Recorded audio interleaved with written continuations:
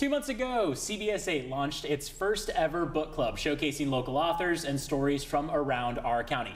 Our team chose City on Fire by Don Winslow to kick it off. It's the story of two dueling mobs, the Irish and Italians, fighting for control in a small Rhode Island town, often going to great lengths for power. It's a book the New York Times calls epic, ambitious, majestic, the godfather for our generation. Joining us live in studio for our first book date with a New York Times bestselling author and Julian resident Don Winslow. Don, thank you for being with us. Thanks for having me. We are so happy to have you here with us. We've been on Facebook, a little Facebook group, yeah. discussing the book, and we've given people around the county time to kind of digest it. And we want to start off with people at home who are maybe thinking, haven't started it or finished it, and you can give them a brief synopsis of, of the plot line. Yeah, it's, it's about a guy named Danny Ryan.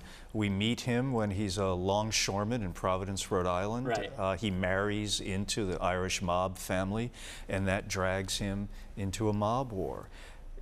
And how, I mean, this is a complex story. How did you come up with the idea behind it?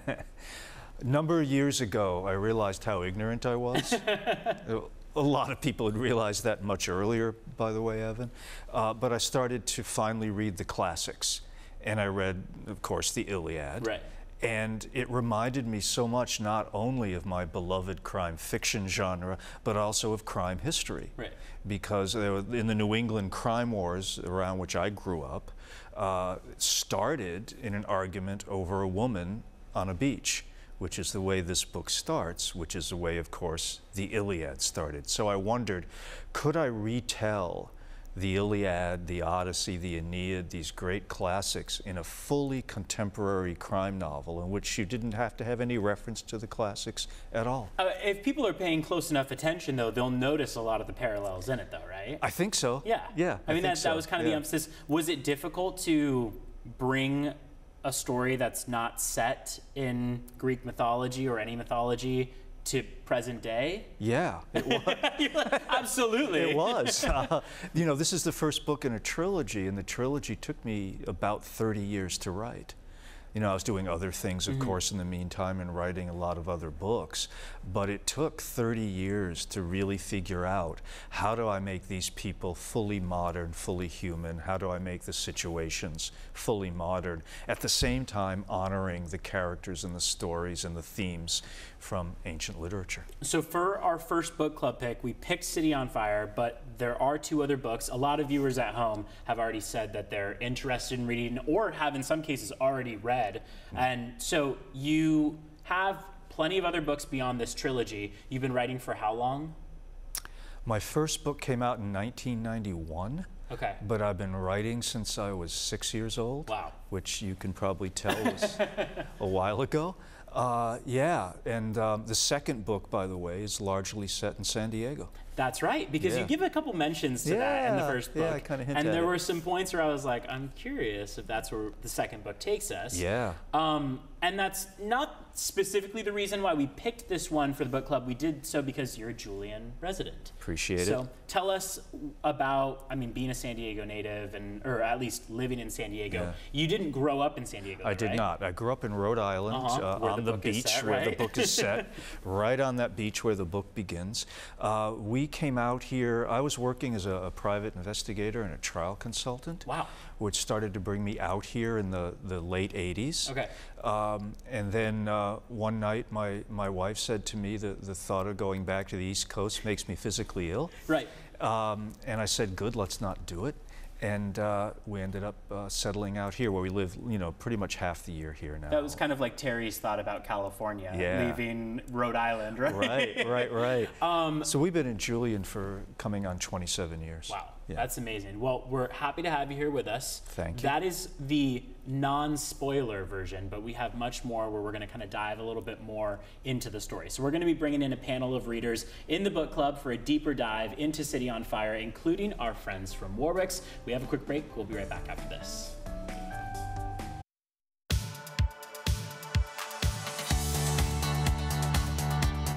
Welcome back, everyone. We are about to get all of our questions and your questions answered. We are joined by Cameron Duncan, producer and co-founder of Book Date with Eight. We also have Julie Slavinsky, director of events at Warwick's in La Jolla. Thank you too for joining us on the panel. And then, of course, if you were with us for the last segment, Don Winslow, author of the trilogy, the Danny Ryan trilogy, but also of City on Fire specifically, the first book club pick for Book Date with Eight. So uh, I want to kick it off with just a little bit of a quote, because this was one that I really enjoyed from the book, where you were kind of setting the stage of how these two rival mobs came to power. And you said, it was true what had made them poor, small houses crowded with hungry mouths had made them rich. What had osten- ostensi- ostensibly made them weak had made them powerful. So tell us about these two rival groups and how you kind of decided to come up with their characters.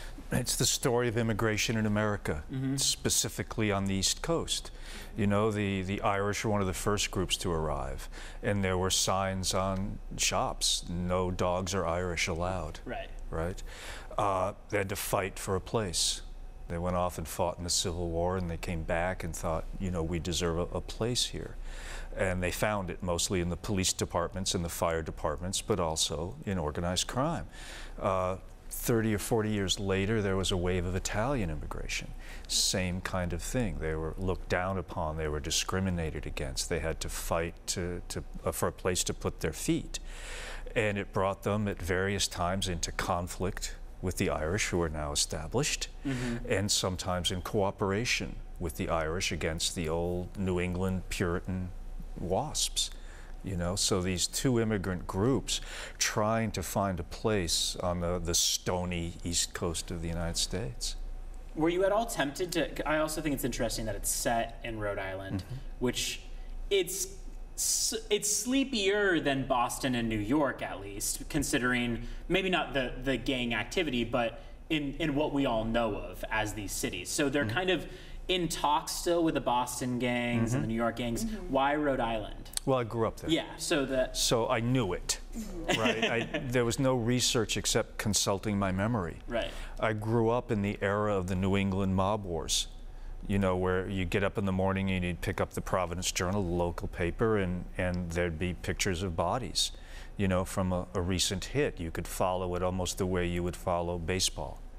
Which you kind of do in the book. You mentioned that Yeah. the press is going to eat this up at Right, times. right. Yeah. You know, and I, I talk with a lot of these old, you know, grizzled crime reporters who, who had covered those days. You know, had great dinners and lunches with them at mob spots. Right. you know, where we talked quietly. you know, there are still places there uh, where you don't make certain jokes. You know, I bet. in, in, in certain bars and certain restaurants. So I picked Rhode Island because I knew it well, because I could drive to or walk to the locations, and because it made sense for the story. I, I wanted a small town as opposed to a New York or an Right. LA because it was important that all the characters knew each other Right. right? They had family relationships. They were friends before the war started, which to me made for a much richer story. Yeah, I wanted to ask a little bit about Danny Ryan. He's a really interesting protagonist to me because, you know, he's kind of lost at first. He's not naturally a leader. He tries to leave, become a fisherman. Um, he's not like his best friend Pat, you know, like who's made to be the mob leader. So, what made you want to tell his story as lead? And I know he's based Yeah. roughly off Aeneas Yes. from the Iliad, who's not a main character at Correct. all. So, I just thought that was a very interesting decision. Well, thank you. Yeah, that's exactly why. Mm-hmm. It would have been easier to tell the story from the point of view of Patrick, mm-hmm. right? Or someone who was at the center, mm-hmm. as he is in the, in the Iliad. It- More interesting to me, though, was to take a guy who had one foot in and one foot out, mm-hmm. because you get them both. I'm kind of greedy as a writer, right? I'm that guy. I want my literary cake and I want to eat it. Mm-hmm. Okay. So with Danny, you had a guy who was right in the center of the action, and yet mentally and emotionally, he's a little bit to the outside, so he can comment on it. He mm-hmm. can give that kind of outsider's perspective as well as being involved directly in the action. Yeah, which is very interesting because we even see at moments he's uh, approached by the FBI and debates giving people up to get his family out for safety, but he ultimately decides to stay. Yeah, yeah. You know, I think in in terms of classical literature, if you're going to talk about a hero, you have to have a fatal flaw. right? The Achilles heel. That hero has to have a fatal flaw. Um, Danny's is loyalty. Yes. Right. Right? That he, you know, i i what's more interesting though than just loyalty? Do do I stay loyal to this or do I not? To me, mm-hmm. are conflicting loyalties, Right. Mm-hmm. Right? Who am I going to be Because- loyal to? Right. I mean, it, it feels Yeah. like the whole time you're watching him kind of toe the line, especially once he finds out that Terry's pregnant. Of mm-hmm. like, am I going to follow my family? Yeah. Or well, which side of my family am I Right. going to follow? Was I even ever a part of this mob family? Or do I take my wife and my child? Yeah, he's the son-in-law. Right. right? And, and kind of dismissed as such and, and, and sort of belittled until, uh, not to spoil too much, people start dying and they need him. But he is very conflicted. Am I loyal to that family? Am I loyal to my wife and baby? Mm-hmm. And by the way, his wife is very loyal to her family, mm-hmm. you know, Right. basically saying you're not going to betray them. Mm-hmm. We don't do that here. And, and, you know, by the way, I mean, that was the atmosphere in which I grew up you know, where loyalty was considered the prime virtue In any family, right? in Just any like- family. exactly. But but in that era, in that place, you you know there were tribal loyalties, you know, that Right. you you did not violate. Right, when you get back to the ethnic, grow, growing up in those neighborhoods. Yeah. It was very much that. So when you were telling the story, when, when you were thinking about writing this, Mm-hmm. and when you were coming up with the idea the, based on the, the classics that you did, did you think you could finish it in one story, or was it always going to be a trilogy when It you was- started it out? Thanks. It was always going to be trilogy. Okay. I knew that from the get-go. Unlike the sort of big fat drug books that I did, which are accidental trilogies. Okay, Because I quit after each one. So that You was, did. Oh yeah. I was never. uh, right. We talked about that. Yeah. I'm never going back to that Never world. going back to that. right and you went back. twice. Uh, no, this was planned from the start because Aeneas's life came in three very distinct phases. He fights in a war, and I won't tell you how that ends. but then he's a refugee. Mm-hmm. He has these wandering years, right? Uh, and a tragic love affair. And then the, the third part of his life, very distinctly, was building an empire. Mm-hmm. So I always had that arc. Okay. I always knew three parts of his life, three parts of Danny's life. Mm-hmm. The problem, Julie, was trying to figure out the modern equivalents. Okay. Okay, Yeah. Y- you know, it, he builds an empire. What mm-hmm. kind of empire? Mm-hmm. You can't build Rome. But then I thought, yeah, actually, you can mm-hmm. in Las Vegas right.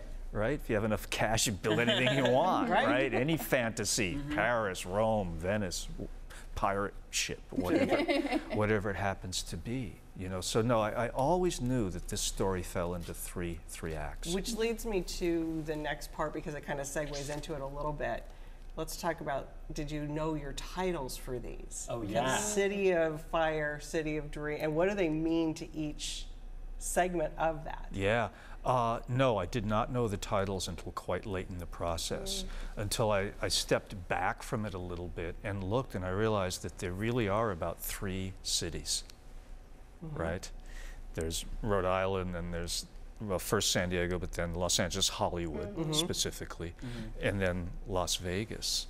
Uh, and, and that seemed to work for the trilogy.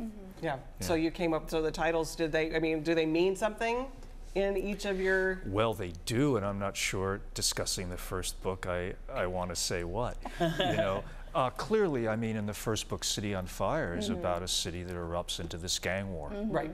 you know, Right. um, like like Troy, Yeah. right? Right. In the Iliad, uh, City of Dreams. Well, that's Hollywood, Yeah. right? You know, that's where we go to dream and create our dreams and and create what we think America looks like. Yeah. City in Ruins. I'm not going to talk about. Right? I got that right. why that is. I want to take you to another character, Pasco, who Oh, yeah. kind of runs a little bit in the background of everything that's going on with Mm-hmm. these gangs. It feels like, and Cam and I had discussed this, it feels like Pasco is viewed as this kind of wise, um, you know, uh, loyal understanding person who who doesn't seem to make these rash decisions that some of the other younger guys do. Mm-hmm. Right. But also earlier on in the book, you talk about Cassie, and you mention what happens between Pasco and Cassie. Yeah. And you say, when her mother asked her why, and her father screamed at her and called her a junkie and a disgrace, she held her tongue and never told her told because she was afraid that they wouldn't believe her and more afraid that they would. She never wanted to be touched by a man again and never was. Mm-hmm. So you introduce this character, Pasco, and at this point early on in the book, you don't really know how to read him. Sure. But then throughout the rest of it, it feels like we're kind of on his side for a lot of the decision making. So was what was your intent with with Pasco's character? Yeah, uh, Pasco is the god Apollo. Um, and so uh, it, it, it was troublesome, it was difficult, but really fun in these books Yeah. because there are several characters who are not human. They are gods, but I had to make them human. Danny's mother, mm-hmm. Mm-hmm. Madeline, mm-hmm. is the goddess Aphrodite. Right. How do you do that? But to get back to your question, sorry. Um, he's the god Apollo, and if, if you look at mythology and if you look at Cassandra, whose name I barely changed, the, the doomed prophetess of Troy, right?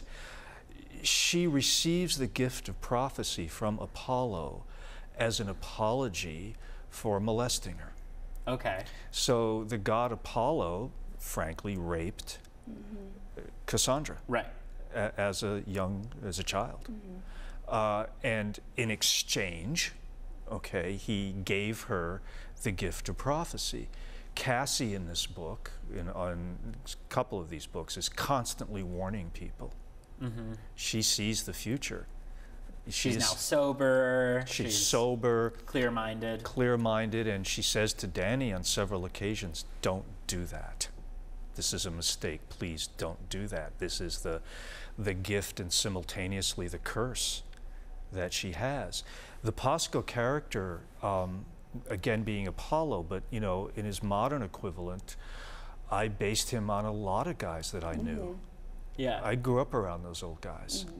You know, they were the guys who gave you dimes to buy comic books, who gave you quarters, you know, to, to go to get ice cream.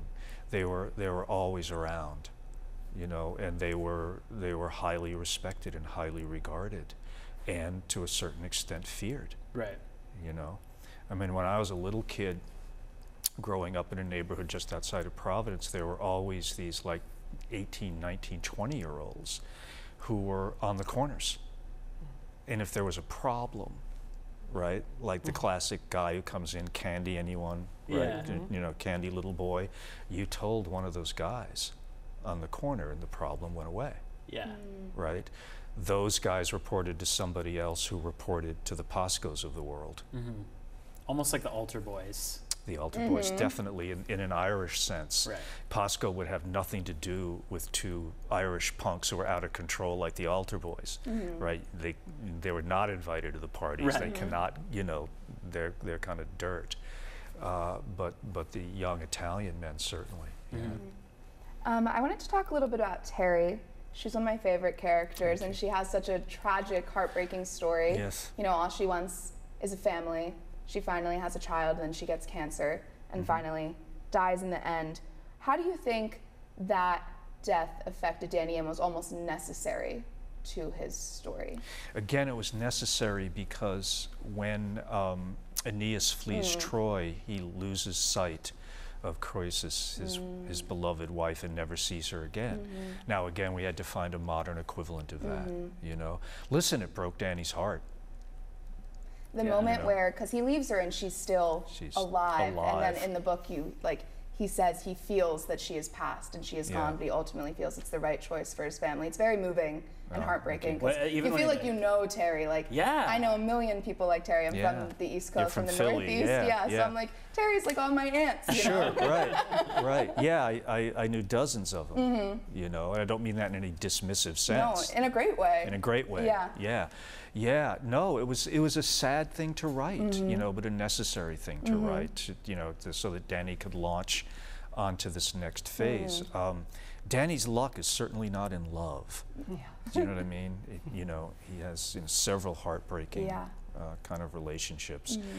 There's no doubt in my mind, however, that if she had, if Terry had lived, she would still be with Danny. Mm-hmm. Right. Mm-hmm. You know, no doubt in my mind at all. Yeah.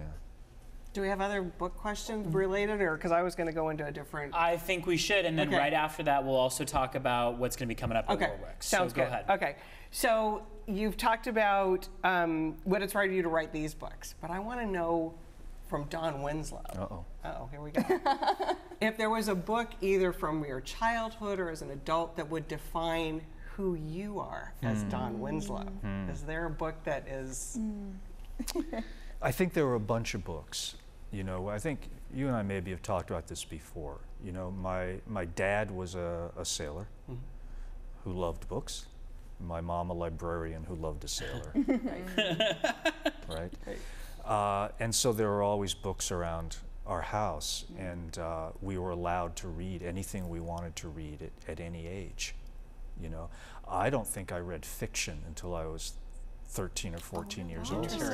I was totally focused on history books. There, there was a mm. series of books called the Landmark You Were There books, and it was always a little boy and a little girl, and they were there somewhere. Mm, you know, the Battle of Gettysburg, Okay. the mm-hmm. invasion Yeah, of yeah, yeah, yeah. Normandy, the Johnstown flood. These two kids were there, There.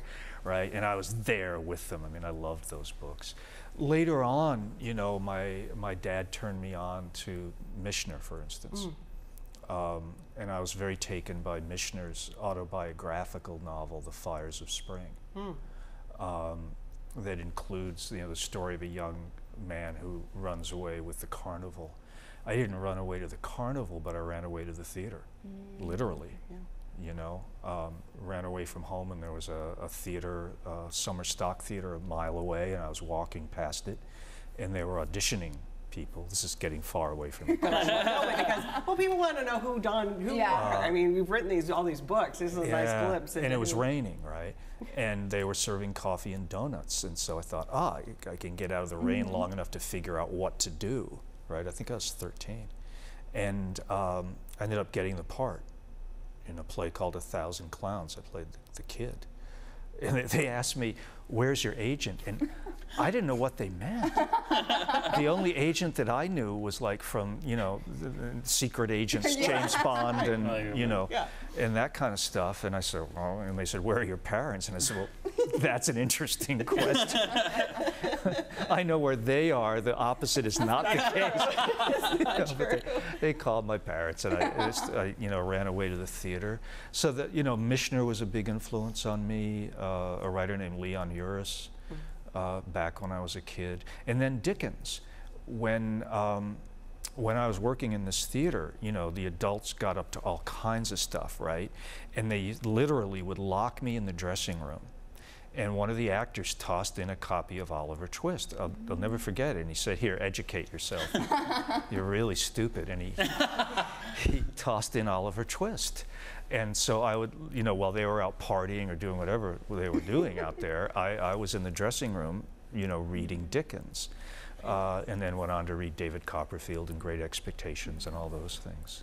And then Shakespeare, you know. Uh, I was that geeky kid who would take a volume of Shakespeare and walk off into the woods and sit and read it, you know, hour after hour. Yeah. Yeah. Book number three is the center point for something The- that's happening at Warwick. At Warwick's event is on April 10th. We'll be having you back at the store Good. for um, City in Ruins, which you'll tell us maybe at the event. That's what it is. At the event, you'll tell us what the title is about. So Okay. come to Warwick's and tell us what the I- I title is. will do. So April 10th will be at Warwick's. But so my question to you is, and we'll, I think we might get to this a little bit. Um, this is your last. This is your last book. Your last. Your last hurrah. Yeah. So the book event at Warwick's will be your last tour that you'll have at Warwick's. Yes. What will you miss about touring? I know there's some. I know there's a lot of bad, but there's got to be some good. No, there's a lot of a good. lot of. There's a lot of good. I'll miss the bookstore people. Mm. Miss the bookstore owners You, and the Julie. people who are there. no, seriously, Julie would Yeah. certainly be Right. in that category mm-hmm. because of been so warm and so welcoming. We've, had had a lot of events. So many laughs and you know so many good times together that I'll definitely miss that. Right. You know, look, every material thing that I have, I owe to bookstore people and to readers, mm-hmm. Right? And so to get out there and say thank you and meet them and answer mm-hmm. questions and do whatever you know that I can do to support those bookstores, I'm really happy to do. So I'll miss that camaraderie. Yeah. Mm-hmm. It's huge. And Yeah, we'll it miss you. Yeah. We will miss you. Yeah, yeah, but I'll come to the store. yeah. I come up to Julian, you know. Exactly. We're not, And after the commercial, we're going to ask you specifically why that's happening and what your future is going to look like after writing books. Um, there's going to be a lot of discussion about the trilogy in general. So again, on the on Warwick's website, right? Yep. People can find They can find out how to come to the, yep, on Okay, June, on perfect. April 10th. April Um, 10th. thank you both for joining Thank our you. panel. Thank you. Thank you. This was And we'll fun. be Thank you, guys. After a quick break, stay with us. Okay.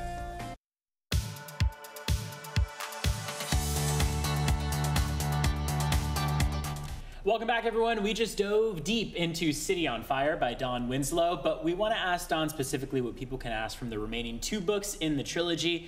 Like I mentioned, some viewers have already chosen to take it upon themselves and read the 2nd And then I also want you to include in that when the third is coming out. Yeah.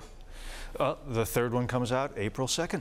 Okay. And, Yeah. and what do the second and third entail? We talked about that a little bit earlier on, but Yeah, if you follow Danny throughout his life, uh, he, he leaves Rhode Island under a cloud, to say the least. He's a fugitive for a long time, ends up in Hollywood, ends up around the movie business. Uh, for reasons I won't disclose. uh, and then in the third book, uh, City in Ruins, uh, he ends up in Las Vegas. okay. Yeah. And I mean, there also is a little bit of a tie to San Diego in the second one, right? There is, there is. When, when Danny flees from Rhode Island, where he ends up is San Diego, living in North Park. Ooh. Yeah, and uh, tending bar around there. So Okay. there's, there's quite a bit of San Diego, actually in, in book two and three.